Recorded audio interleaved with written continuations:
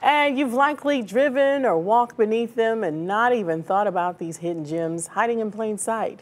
We're talking about four bridges that have not only welcomed and amazed Clevelanders for over a century, but also connected us with a different Cleveland. Tonight in this News 5 original, photojournalist Andy, ben- Andy Benish and web producer Kaylin Halavity give us the story behind Cleveland's most iconic series of bridges. What I am is an architectural photographer and local history author. My first name is Lauren. My last name is Pacini, P-A-C-I-N-I. But I love the bridges. The bridges play such an important role in Cleveland. The bridges really um, serve as a series of gateways as you arrive or make your way to University Circle. Charles F. Schweinfurth is the architect of the Rockefeller Park bridges. He's probably one of the most important architects ever to come out of the city of Cleveland. If you don't know his name, everybody in Cleveland is familiar with the bridges because most Clevelanders interact with them on a regular basis. And the Schweinfurth bridges provide, you know, a real focal point for the park.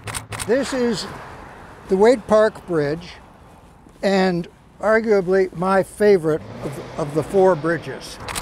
And what this bridge has that none of the other bridges has is the steps that we're walking on. I think the Wade Park Bridge is something really special because of that stairway. I just love the steps. The design is just amazing. These four bridges represented that growth of the city. They're there to enhance your experience and, and make it a better place. And I think, I think that's what it means to Clevelanders. They're iconic, they're, they're the legacy pieces, not only of Rockefeller Park, but I think they're one of the, the finest examples of, of certainly a park architecture that we have in the city of Cleveland.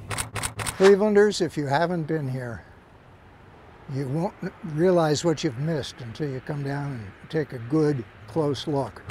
And, and I think you'll find it is one of Cleveland's, sadly, best kept secrets. Just beautiful architecture. I love the stairways. Yeah, and it's like, like they said, hiding in plain sight. You see it all the time and don't even think about it like that. Wow. Love it, love it.